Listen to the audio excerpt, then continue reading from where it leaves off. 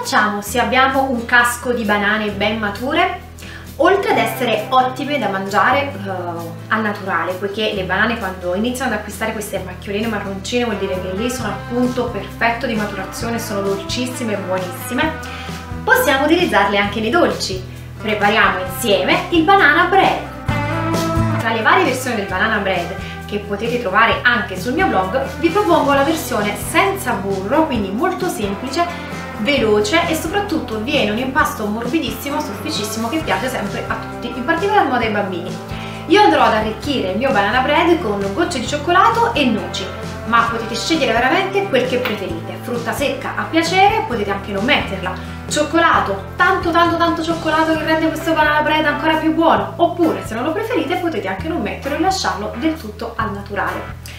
Prima di passare alla lavorazione delle banane che devo semplicemente schiacciare con una forchetta, ecco perché mi servono mature, perché devo ottenere la purea di banane che diversamente non riuscirei a realizzare, vado subito con la preparazione dell'impasto, lavorando zucchero e uova in maniera tale che mentre monta il composto di zucchero e uova io procedo con eh, la preparazione delle banane. Non sbuccio le banane, le schiaccio, le lascio tanto tempo all'aria, altrimenti rischiano di ossidarsi e diventare un po' nerette, cosa che non vogliamo. Quindi quando vedo che il composto di zucchero e uh, uova inizia ad essere abbastanza spumoso, passo subito alla preparazione delle banane. Nella ciotola della planetaria metto quindi lo zucchero, io sto utilizzando uno zucchero di canna grezzo. Oltre ad essere un prodotto uh, grezzo, quindi sicuramente un po' più sano rispetto al prodotto raffinato, sebbene sia sempre zucchero, eh, non lo dimentichiamo, lo zucchero di canna grezzo, lo zucchero integrale, questo qui, ha anche un magnifico retrogusto di caramello che vi consiglio sinceramente di provarlo in particolar modo in questi tipi di dolci. Poi aggiungo due uova a temperatura ambiente grandi.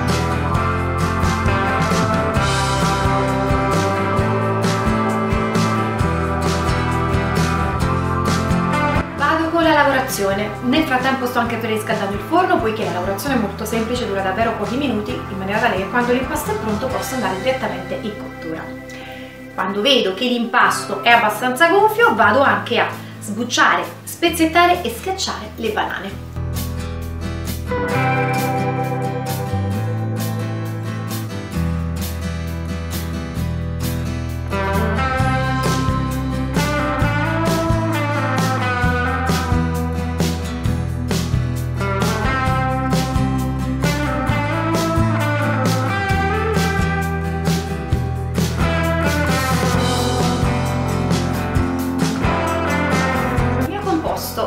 Uova e zucchero è abbastanza gonfio.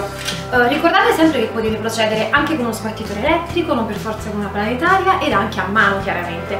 Non è un impasto che richiede una lavorazione um, eccessiva, quindi ce la potrete fare anche a mano. Benissimo, nel frattempo ho già schiacciato anche le banane e se non erano abbastanza mature non si sarebbero schiacciate con tanta facilità. Vado a aggiungere l'olio a filo a velocità bassissima.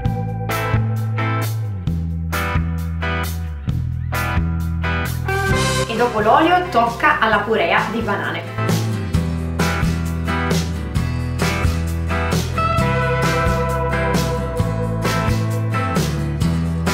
Bene, ho lavorato questi ingredienti, vado a setacciare la farina insieme al lievito. Adesso aggiungo anche le polveri mantenendo una velocità molto bassa.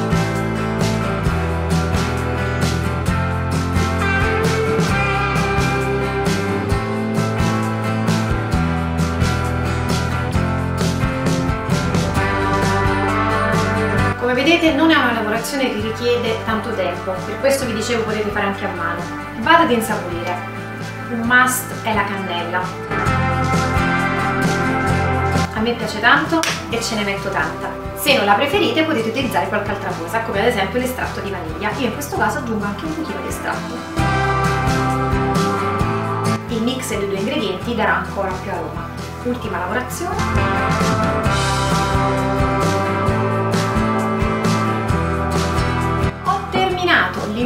Presenta denso, cremoso, è davvero un bellissimo impasto. Ed ora non mi resta che aggiungere quelli che sono gli ingredienti che andranno ad arricchire il mio banana bread. Come vi dicevo potete farlo anche così com'è. In teoria un bread americano, inglese, anglosassone è un pane un po' dolce, eh, non per forza arricchito con altri ingredienti. Ma io vado a mettere gocce di cioccolato, quelle extra fondenti,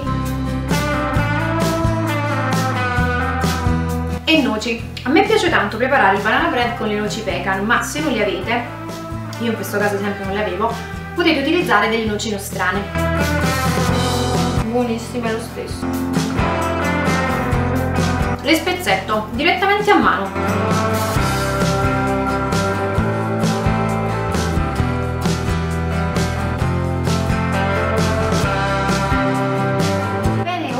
stampo con il mio fidato staccante, ho versato l'impasto all'interno e adesso vado in forno statico preriscaldato 180 gradi 40 minuti circa, mi raccomando, sempre la prova a stecchino.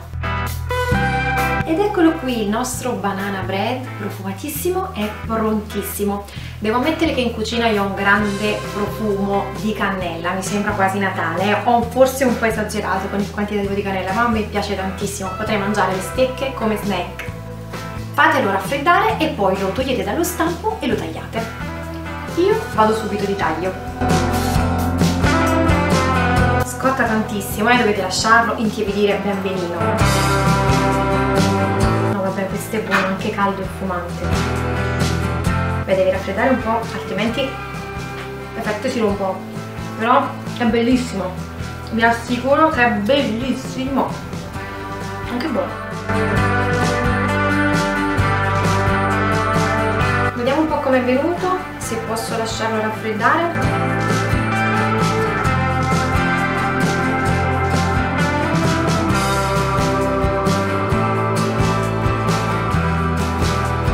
Freddo è ancora più buono, lo so, ma anche caldo, ha il suo perché.